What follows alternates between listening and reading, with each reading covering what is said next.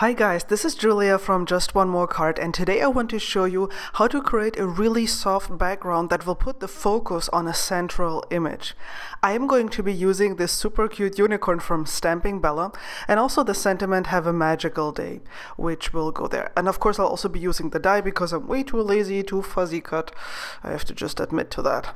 So I'm starting out by um, masking off the border here on my on the front of the card base um, because I don't want the color to go there and I've laid out the elements that I'm going to be using just so I have a rough idea where I need to put the color. I'm using Distress Inks here with uh, normal distress blending tools and I'm trying to create a soft um, blend between orange and pinkish tones and slowly blend that out to the right so it gets lighter. And I'm also using drops of water. This is just a mister. Um, it's, just, it's plain water, and I'm just using this.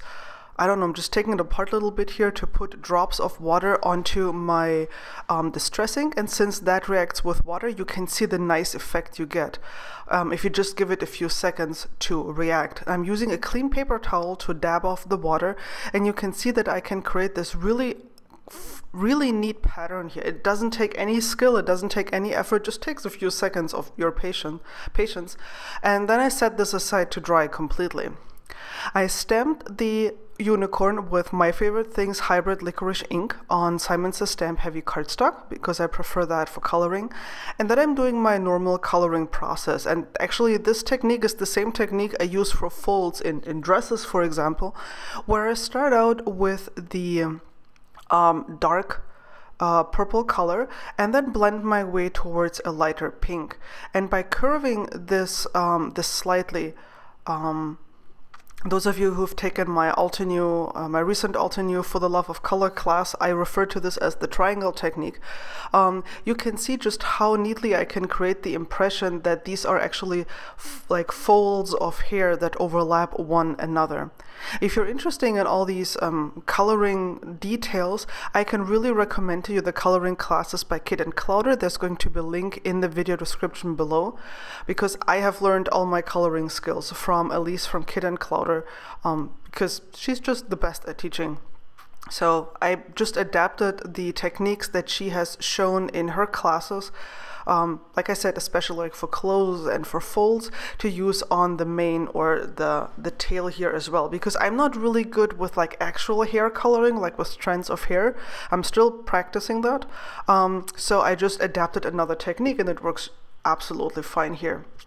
I'm using um, my Twin Touch markers because uh, I have the Twin Touch markers in a blue-gray color and I just wanted to use that particular shade. They are basically the same as the Copic um, as the Copic markers. Um, and I'm just adding some detail here and then blending out towards a lighter color. You can see that I'm very careful here. Uh, I have a very, very light touch to make sure I'm not applying too much color. I'm just blending this out a little bit. So the unicorn isn't completely white, but there's a little bit of gray in the shadow areas. So it looks a little bit um, richer, a little bit more detailed than if I would have just left it entirely white. Can see that I'm blending this out here, softening everything so it looks a little bit nicer. I used the die to die cut out the unicorn. You can see how nice it looks and I'm carefully pulling away the painter's tape and you can see the nice sharp edge I get here as a border and now because uh, it happened to me recently, as you have probably seen that I stamped a sentiment upside down. So now before I'm doing this, I'm going to, you know, stamp it on a piece of scratch paper. That is not just to make sure it's not upside down, but also to make sure that it is straight, because I really do not want this to happen to me again. Um, I'm, I'm trying to learn my lessons and not to repeat them. I'm not always successful, but I'm really trying. Using VersaFine ink here, just pressing this down carefully and yay it's not upside down and it is and it is straight at least you know mostly straight but straight enough for my purposes um, which means I can just use it like this. There we go adding a little bit more ink and now I'm stamping it onto my card base here. There we go and I'm not pressing down too hard because I don't want the letters to like you know smoosh. Just have one of nice sharp images and here we go after I applied the unicorn with some foam tape to the card base, I used my Stardust pen to uh, add some shimmer to the unicorn of the unicorn. And then I'm using the glaze pen to add some black dots because it's a really nice sharp contrast the black against the soft background that I've created.